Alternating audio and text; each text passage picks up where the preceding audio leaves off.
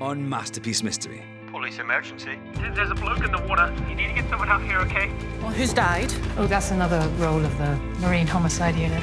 Morgan, hi. And Annika. The mother, guilty.